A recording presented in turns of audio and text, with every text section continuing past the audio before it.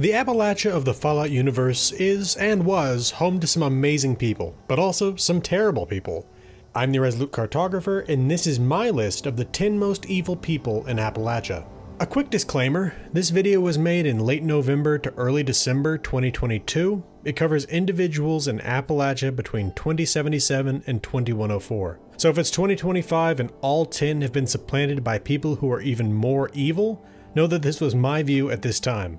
That said, let's get into it. At number 10, we have Lewis, the poisoner of Morgantown. In the years before the bombs, Lewis was a chemistry major at Vault-Tec University, a member of the Eta Psi Epsilon Tau Honors Fraternity, and a self-proclaimed Nuka-Cola aficionado. In order to show his love for his preferred brand of soda, he had accumulated a vast quantity of Nuka-Cola merchandise, a collection that was growing too large for his dorm room he decided that he would have to procure more space if he was going to continue to grow his collection. A warehouse would do the trick. He didn't have the financial resources required to do this, but he had a plan. He would generate the funds required by formulating and selling a Nuka-Cola based alcoholic beverage to his classmates. Once created, the beverage became known as Nuka-Shine, and his fellow frat members built an entire distillery and speakeasy in order to produce and sell it what the public didn't know was that Lewis had used family connections to obtain a RoboBrain robot to serve as a drink tester. The idea that some unknown person had their mind taken from them to serve as the CPU for a drink tester is horrific. Even worse, Lewis had formulated Nuka-Shine with nuclear waste to give it that extra kick.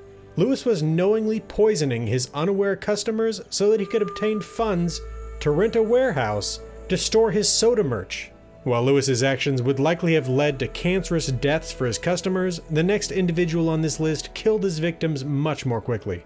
That individual at number 9 on the list is Harland Elliott, the malevolent dean of VTU. Before the bombs, the staff members that would one day operate the Vault-Tec vaults across the country were trained at Vault-Tec University in Morgantown, West Virginia. This includes the vault overseers that would be responsible for administering the staff and population of those vaults.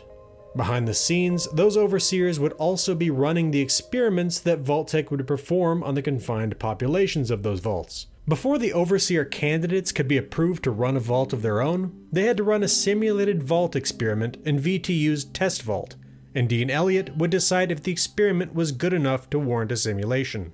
The last simulated experiment to be run in this test vault was the brainchild of overseer candidate Drew Collingsworth. For his simulated experiment, Drew had formulated a nutritious paste that he believed could be stored more easily than standard vault fare. If successful, it would mean that the vaults would be able to store more food in their existing storage space. Though the paste could be flavored to dweller requests, it would remain the same texture regardless of the chosen flavor. Drew's primary concern was if a population could stomach eating food with the same texture day in and out. A control group would be fed normal vault food, while an experimental group would be fed his nutritious paste. Dean Elliott approved the experiment, but he was planning an experiment of his own. On October 16, 2077, the experimental dwellers descended into the test vault and the experiment began. For the next week, the day-to-day -day operations of the vault were only interrupted by a temporary power failure on the 23rd, which was quickly rectified by the test group. Three days later, a maintenance worker dropped dead without warning. An autopsy revealed that their heart was hard and cracked. Follow-up examinations showed that the experimental group that was consuming Drew's nutritional paste had their own arterial blockages. It turns out that Dean Elliott had added an arterial plaquing agent to the paste. He had hoped to study the effects of food-induced death in the vault, expecting a full-on revolt within three weeks. Drew tried to call the experiment off, but received no response from the outside. What he hadn't known at the time was that the power outage on the 23rd had just been a side effect of the nuclear war being initiated. Dean Elliott not only ran an experiment on these unsuspecting VTU students that he knew would be lethal, but he abandoned them in the test vault to die of starvation or heart attack. Though the Dean's terminal seems to indicate that Drew was in on the experiment, Drew's own logs show nothing but surprise and confusion. I have no doubt that this wasn't an isolated event, and one has to wonder how many were slain in Dean Elliott's experiments. The next man on this list wasn't planning on killing his victims with food, but turning them into it. At number 8, we have Morris Stevens, the chief cannibal of the Gourmands Raider Gang. In the aftermath of the bombs, the early season skiers at the Pleasant Valley Ski Resort found themselves stranded hundreds or even thousands of miles from home. The resorts were already low on supplies when nuclear winter swept in weeks later. Over the winter of 2077 to 2078, the resort goers had to resort to previously unimaginable acts in order to survive, including cannibalism. While most of these former holidaymakers gave up eating their fellow man when the snows thawed, Morris and his wife Edie were among those who found they had a taste for it. These cannibals by choice collectively became known as the Gourmands, and Morris became their leader. One of the cardinal rules of their organization was that they didn't eat their fellow cannibals. This was a rule that Morris couldn't stick to. This fact was divined when one of the gourmands went missing and was found half eaten in Morris and Edie's room. Banished from the gourmands, Morris and Edie retreated into a local cave where they hunted travelers on the highway. Over time, Morris's hunger grew until he devoured his own wife and became the Wendigo of Wendigo Cave. While Morris Stevens became a monster in the literal, the next individual on this list was a monster in the figurative. At number 7, we have Olivia Rivers, the betrayer of the Mistresses of Mystery. Olivia was the daughter of Shannon Rivers, the voice actress of the comic book hero The Mistress of Mystery. Her mother's busy schedule meant that she didn't spend much time with Olivia over the years. The only thing that held their relationship together was a yearly camping trip to Seneca Rocks. In June 2077, Shannon canceled the yearly October outing with her daughter to go to Boston to audition to play the Mistress of Mystery on television. Shannon had spent months training for the job, working long hours with multiple experts to turn herself into the Mistress of Mystery. Luckily for Shannon, she was replaced with a younger actor for the television role, meaning she was home with her family when the bombs came down. In the summer of 2078, an altercation with a party of bandits showed that Shannon's training hadn't just been for show. To Olivia's shock and acclaim, Shannon beat these bandits to death or into unconsciousness without issue.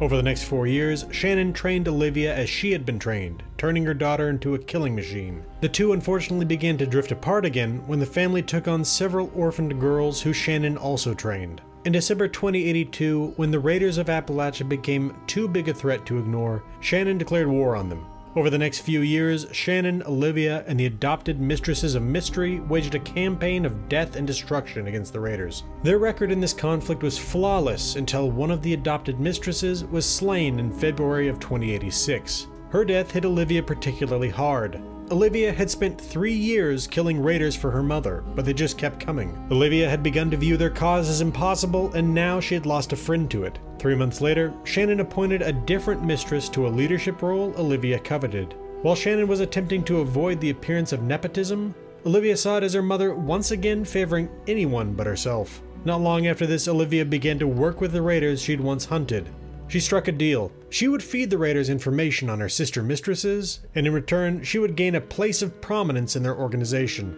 Over the summer of 2086, the raiders used Olivia's information to pick her sisters off one at a time. When an ambush failed and a mistress was about to wipe the raiders out, Olivia killed her to save her contract with the raiders. In November of 2086, while Shannon was away, Olivia's treason was discovered. Unfortunately, Olivia saw this taking place, and she killed every mistress in the sanctum. She set fire to the house and left a note in the ruined sanctum for her mother, inviting her to the camping trip she had canceled nine years prior. When Shannon arrived at their traditional campsite, she and Olivia battled to the death. When Olivia emerged victorious, she was slain by the raiders. They had never intended to take a traitor into their ranks, much less one that would kill her own mother for power. While self interest turned Olivia Rivers into one of the most egregious traitors in the Fallout universe, the self interest of this next man was responsible for many of the societal ills of pre war Appalachia. Number 6 is robber baron Daniel Hornwright, the head of Hornwright Industrial, the mining and robotics corporation.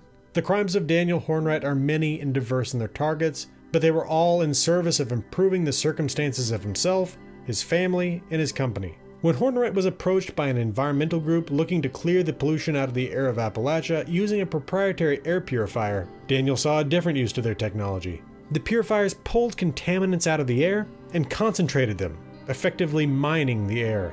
He reasoned that rather than sending his miners into the ground, he could just set his mines on fire and mine the air. Hornwright Industrial repurposed the environmentalist tech, renaming them ash forges, and used them as an excuse to make the air even dirtier. Hornwright Industrial created the Autominer, a specialized mining robot that was wiping out the jobs of human miners across Appalachia. While this was not a crime, Hornwright's efforts against their competition were.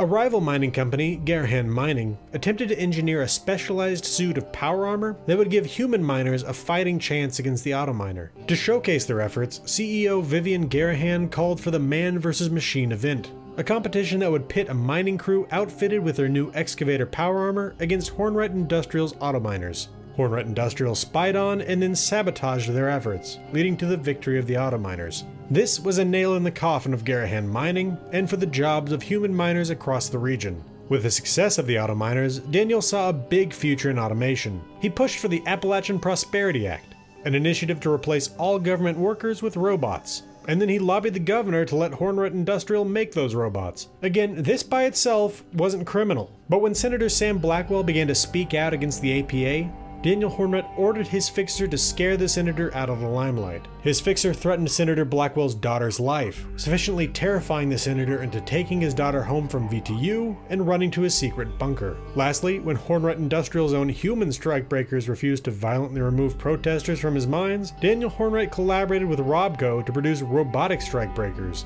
These robots wouldn't just bash a striker with a cudgel, they'd shoot them if it meant removing them from Hornwright's property. While Daniel Hornwright did evil to enrich himself, the next man on this list was absolutely selfless in his evil. The sinister scientist, Dr. Edgar Blackburn, number 5 on my list, epitomizes the old cliche that the road to hell is paved in good intentions. Before the war, Dr. Edgar Blackburn was a university professor and researcher working towards tenure. Seeing that the pre-war world was heading towards ruin shook Dr. Blackburn from his self-interest. He wanted to do anything he could to save as many people as possible. One of the greatest issues facing humanity at the time was food shortages, and this is where he believed he could make the biggest difference. The defense contractor West Tek was working on something new, the Pan Immunity Variant Project or PVP, while the PvP was mostly directed towards the purpose of bioengineering a vaccination against all disease, there was a second objective that was being explored under the name the Greenhouse Initiative. Located in Huntersville, West Virginia, this project was planning to use the PvP to genetically engineer food crops that would feed the hungry public. Dr. Blackburn was hired on as a research scientist for the Greenhouse Initiative just prior to the project's cancellation. It turned out that in testing, the PvP had been causing test subjects to develop increased strength, intelligence, and immunity to radiation. The Pan Immunity variant was renamed the Forced Evolutionary Virus, and the project was redirected towards the creation of super soldiers. The project director of the now defunct Greenhouse Initiative convinced Dr. Blackburn to stay a part of the FEV project, a decision he would come to regret as he watched his superiors mutate the FEV and use it to create inhuman monsters like the Snallygaster and Grafton monster. When the bombs came down, Dr. Blackburn left Appalachia and wandered the wasteland. Everywhere he went, he saw people suffering. Horrible new diseases had been created in the radioactive wastes, diseases without cure or even treatment. He saw wastelanders create folk remedies of varying efficacy and lamented his inability to help them. In the back of his mind, an answer to their problems began to form. He would restart the Pan Immunity Variant Project and steer it towards its original purpose in 2103, 26 years after he fled his old life, Dr. Blackburn returned to Appalachia. The equipment in his old lab at West Tek Huntersville was not in any shape to edit the virus, not to mention that the lab itself was overrun with super mutants. He heard that a high-tech organization called the Brotherhood of Steel had arrived in the area, and he went to ask them for equipment. When he found himself surrounded by petitioners with more base-level needs, he knew he would have to look elsewhere. He finally found the perfect spot in Vault 96. The abandoned vault had all the DNA editing equipment he could ask for, cages for test specimens, and robotic security to safeguard his work. Dr. Blackburn knew he would need help distributing his corrected FEV, so he contacted some of his old colleagues and got them to join his efforts. While West Tek Huntersville wasn't right for reworking the virus, the basement held an FEV production center capable of mass producing his corrected strain once completed. He left his colleagues to prepare the equipment for production and went about his own work. He knew that he would need human test subjects, but that no one would volunteer if properly informed about what they were getting themselves into. He decided on a different approach. He would kidnap his specimens. Over the course of the next year, he kidnapped test subjects one by one. Many were wastelanders just looking for help with their medical conditions that voluntarily followed the PhD they assumed was an MD. When this proved insufficient for his needs, he hired the Hellcat mercenary company to kidnap subjects for him. Within the labs of Vault 96, Dr. Blackburn would infect a test subject with a strain of FEV, run tests on their immunity, and dump them out of the vault if they began to change into super mutants. He would then refine the strain and start over. From 2103 to 2104, he produced hundreds of super mutants with increasing levels of intelligence, along with piles of corpses of subjects that didn't survive the testing. The super mutants he created ranged out across Appalachia, attacking settlements. When members of the Brotherhood of Steel discovered the source of these super mutants, they captured Dr. Blackburn. Under interrogation, he revealed that he had completed his work and that his colleagues were preparing to distribute the corrected strain across Appalachia. In attempting to halt this distribution, the Brotherhood brought Dr. Blackburn to West Tek. Once on site, he lied his way out of the Brotherhood's control and dosed himself with the FEV. He assumed it would prove him right, and get the Brotherhood to stop their objections to his work. He was wrong. The FEV wasn't ready yet, and he was converted into a super mutant behemoth. Had his strain been distributed over Appalachia, hundreds or even thousands may have died or been converted. Despite the horror surrounding Dr. Blackburn's actions, he never did what he did with ill will. He hated himself for what he did to the involuntary test subjects and knew that he would be cursed for the wrong he did. He simply believed that in sacrificing hundreds, he would save thousands or even millions of wastelanders from radiation, illness, and death. For Dr. Blackburn, Machiavelli was right. The end would justify the means. While Dr. Blackburn did evil while trying to do good, the next two on our list were trying to hurt people. Numbers 4 and 3 are Arthur Wood and Darius Angler, creators of the Toxic Valley. In the run up to the bombs, the Grafton Steel Mill was one of Appalachia's greatest contributions to the American war effort against the Red Chinese Menace. Day and night, workers churned out tons of steel used in the manufacture of war materiel. Because of its importance to the war effort, the United States federal government granted mill owner Arthur Wood special dispensation to violate environmental and labor laws. Laborers were worked into exhaustion and illness as the mill belched smoke into the sky and dumped waste directly into Grafton Lake. One of these exhausted workers, Billy Angler, fell directly into a vat of molten steel and was killed almost immediately. His brother Darius had been a chemist and the employee of Grafton Steel until he left his position when he felt the working conditions were becoming unsafe. With his brother's death, Darius began to formulate his revenge against his former employer. Over the course of months, he formulated an additive that would force the shuttering of the mill by corrupting the very metal it was composed of. Supremely paranoid, Darius Angler moved multiple times while designing the additive, going so far as to shoot an innocent hiker that got too close to his cabin in the woods. One morning in the spring of 2077, he snuck into the mill and poured his completed additive into the blast furnace. The smokestacks soon began to spit white flecks of highly toxic soot into the air. An inspection concluded that fixing the problem would require the entire mill to be shut down while the affected equipment was replaced. If this wasn't done, the corruption would spread. The plant would continue to fill the air with toxic white soot, and the equipment would require near constant repairs to continue operation. Arthur Wood viewed the act of sabotage as an attack by the mill workers and refused to allow the mill to be shuttered even temporarily. The ash would be just reward for the attack on the mill. So the mill continued to blast out toxic soot, coating the entire valley, killing workers and their families over time. While Darius Angler caused the formation of the soot in the first place, it was Arthur Wood that allowed the soot to propagate across the region. While these two slowly destroyed the environment and killed or sickened hundreds to thousands in revenge, the next man on this list was much more direct in his revenge killing. That man, number two on this list, is David Thorpe, the warlord of the Raiders of the Savage Divide. Before the war, David Thorpe was a ruthless corporate raider in the employ of Arctos Pharma. In October 2077, he left his wife and kids at home and traveled to the Pleasant Valley ski resort with his mistress, Rosalind Jeffries. The two were enjoying a perfectly good weekend of drugs and adultery until it was ruined by nuclear war. In the aftermath of the bombs, the resort sent a group of envoys to Charleston seeking aid. With the city in chaos, the resort envoys were turned away with nothing. As I said when speaking of Morris Stevens, the resort goers then endured the nuclear winter of 2077 to 2078 when the people of Charleston sent a party into the mountains to attempt to help the resort goers in the summer of 2078, David Thorpe executed the envoys in cold blood. The vacationers now split into five raider gangs, and David Thorpe became the boss of the largest group, the Cutthroats. Over the next four years, they raided the survivors in the valleys below, stealing their food and supplies. On Christmas Eve 2082, David's girlfriend Rosalind Jeffries attempted to raid Charleston in the hopes of bringing David a gift. The raid went poorly, and Rosalind was captured. Improperly informed that she had been killed, David Thorpe took a mini nuke and raced to the dam over Charleston. In the early morning hours of Christmas Day 2082, he blew the dam, flooding the city, killing hundreds, including Rosalind, who was being interrogated in the Capitol Courthouse jail. While David Thorpe was a clear and present danger to the people of Appalachia, there was a far more dangerous man hiding in the shadows. At number one on the list of the most evil people in Appalachia, we have Thomas Eckhart, the father of the Scorch Beasts.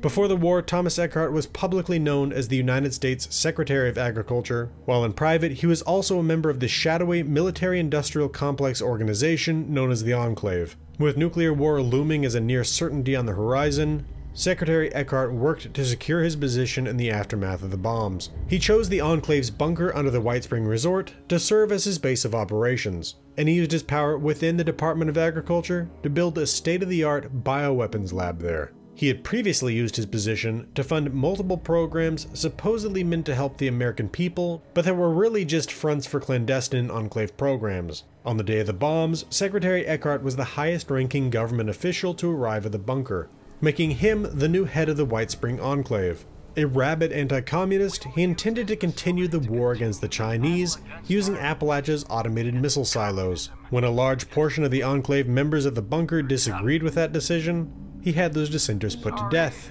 Now that he commanded a group faithful to his ideals, he began to attempt to resume the war on the Chinese. He learned that to launch the nukes he would need four things a compliant general, a nuclear launch keycard, nuclear launch codes, and a DEFCON rating of 1. He had a compliant general, he could get a nuclear launch keycard and the launch codes, but the DEFCON rating was going to be a problem. Unfortunately for Eckhart, the local silos ran off an automated system that prevented the launch of nukes if the situation didn't call for it. Ever since the end of the war, the DEFCON system had been ticking up. He decided he would have to trick the DEFCON system into thinking a launch was warranted. To this end, he had his right-hand man, Agent Gray, reactivate the production of Liberator robots at a local Chinese spy base. When this didn't do the trick, he reactivated the vats of FEV at West Tek Huntersville, leading to the spawning of a new group of super mutants. This too wasn't enough to give him the necessary DEFCON 1. The answer to his problem soon arrived from one of his science teams. At a lab hidden in an old mine, a bat had been accidentally contaminated with some unknown chemical. It grew to be enormous and spread a strange taint to its vicinity that corrupted the environment around it. While the team that had created the monstrous bat wanted to euthanize it, Secretary Eckhart told them to make more instead. When he wasn't working on attempting to restart the nuclear war, Secretary Eckhart was ordering the kidnapping of wastelanders to use as test subjects in his mutation serums program. In order to increase his standing within the White Spring and potentially with the American people, he ordered the organization of a special election of those within the bunker that named him President of the United States. When his super mutants were wiped out by the surviving post-war societies outside the bunker in the summer of 2086, Eckhart ordered the release of the monstrous bats to reach DEFCON 1 once and for all. While they did in fact yield the DEFCON level he was looking for, this act was too much for many within the Enclave, and President Eckhart was killed in a coup not long after this. The damage was done though, and over the next 16 years, his giant bats, named Scorched Beasts by those that fought them, would be responsible for the destruction of the post-war order in Appalachia. The former dwellers of Vault 76 would end up having to use the nuclear launches he made possible on American soil so that the beasts he released wouldn't end the world. Before closing things out, I've got three dishonorable mentions here, which I'll start with Dr. Elias Kahn, the head of FEV research at West Tek Huntersville. In this position, Dr. Kahn was behind the creation of the Snallygaster and the Grafton Monster. Along with this, he was in charge during the poisoning of Huntersville with FEV. While I don't think we can blame him for the concept of dosing the entire town with FEV, he administered the facility as they did. Next we have Governor Evans, the last governor of West Virginia. Before the bombs, he sanctioned the continued operation of Grafton Steel even after the soot started to poison the valley, and supported the mill's efforts in removing protesters from the premises with the National Guard. He appears to have been the target of a corruption investigation and was likely in the pocket of local business. Lastly, he abandoned his post when the bombs came down, leaving the state government paralyzed with indecision at a critical time. Last, we have Scott Turner, the man who destroyed Watoga in an attempt to control it. Scott Turner worked at the Robco Research Center near Watoga, Atomic Mining Services' City of the Future. Scott couldn't get a spot in the city itself, leaving him to live in a trailer in the Bogtown. In revenge against the country club style admissions process, he programmed a virus that was intended to have the robots peacefully evict the citizens of Watoga, leaving him in charge. Instead, the robots violently assaulted the citizens and left the city uninhabitable one day before the bombs came down. Watoga could have been the center of a technologically advanced civilization in the aftermath of the bombs. Instead, it created a refugee crisis hours before the world ended. Alright, I think that'll do it for my list of the 10 most evil people in Appalachia. If you're interested in learning more about these individuals, I have far more extensive lore videos covering most of them. Not all of these are as obviously named as my video covering Dr. Blackburn, but it should be fairly obvious that the White Spring Enclave video covers Secretary Eckhart in greater detail. If you want to receive notifications when I launch lore videos and videos like these, you can follow me on Twitter at Gaming with Maps. If you appreciate what I do here and you want to support the channel financially, you can become a patron with Patreon. I want to thank my patrons Mesothelioma, 76 of Texas, Jill AWS, Dark Malcontent of Metaverse Studios, Brian, Real76, Dr. Orion, and Samsung Smart Fridge for their support. This has been the Irresolute Cartographer. Thanks for watching. I'll see you again next time.